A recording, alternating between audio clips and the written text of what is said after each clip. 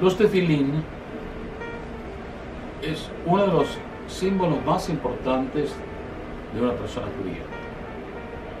Los tefilín están mencionados en relación a la salida de Egipto.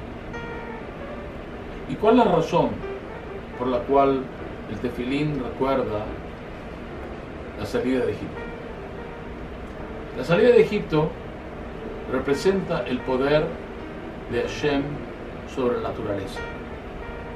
Indica que no hay ningún obstáculo para él, que puede sacar a un pueblo entero del imperio más poderoso del mundo. Eso representa la, fuerza divina, la fuerza de una, una fuerza que solamente puede ser la fuerza del Creador. Entonces el tefilín, cuando lo ponemos sobre la cabeza y delante de nuestro corazón, nos recuerda que Dios es el creador del mundo, que no hay ninguna fuerza más grande que Él y que no hay ningún obstáculo que lo puede parar. Entonces nosotros todas las mañanas, cuando ponemos los tefilín, en la cabeza pensamos en estos pensamientos y sentimos cuando ponemos en la mano el tefilín sobre el corazón, que Dios es el creador del mundo, que Dios me escucha nuestras plegarias y que todo lo que hemos pedido para Hashem él lo puede hacer. Ese es el significado de los tefilín que ponemos durante la mañana. En Shabbat no hay tefilín, porque el Shabbat mismo conduce los mismos pensamientos. Dios es el creador, Dios ha creado el mundo. Y entonces Él, el poder más infinito y más poderoso que existe en el mundo. Y que ningún aspecto en el mundo existe sin él y fuera de él.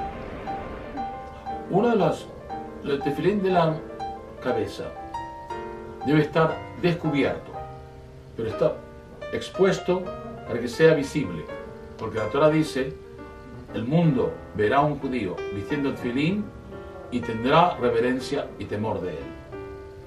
El poder divino sobre el pueblo de Israel está representado por el tefilín, por eso no puede estar cubierto el tefilín. El de la mano puede estar cubierto. Puede estar, uno, después de ponerlo, puede poner una camisa o cubierto. Por eso el de la mano también, el del brazo tiene una cobertura para protegerlo. Pero los dos deben estar sobre nuestro cuerpo, sobre el brazo mismo y no sobre una tela, y el de la cabeza sobre nuestra cabeza misma y no sobre una gorra, por ejemplo. Personas que tengan ah, una peluca deben tener, si la peluca la sacan, de vez en cuando deben sacarse la peluca durante, ese, durante el tefilín. Una persona que tiene una peluca está agarrada totalmente debe moverla un poquitito para poder entrarla sobre su cráneo. La parte del tefilín de, de, la cabeza se debe poner en la parte del cráneo que en un bebé se endurece en la última etapa de su endurecimiento del cráneo, que es exactamente arriba de los ojos y sobre la parte superior del cráneo. El tefilín es como si estuviera una antena mirando para arriba y debe estar nuevamente descubierta y no tapada. El tefilín debe ser usado solamente cuando el cuerpo está limpio. Si una persona tiene problemas estomacales, debe no ponerse el tefilín hasta que esos problemas pasen.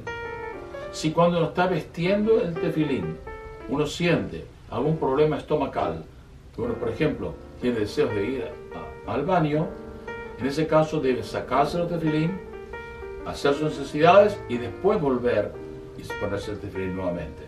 En ese caso se debe decir una nueva braja.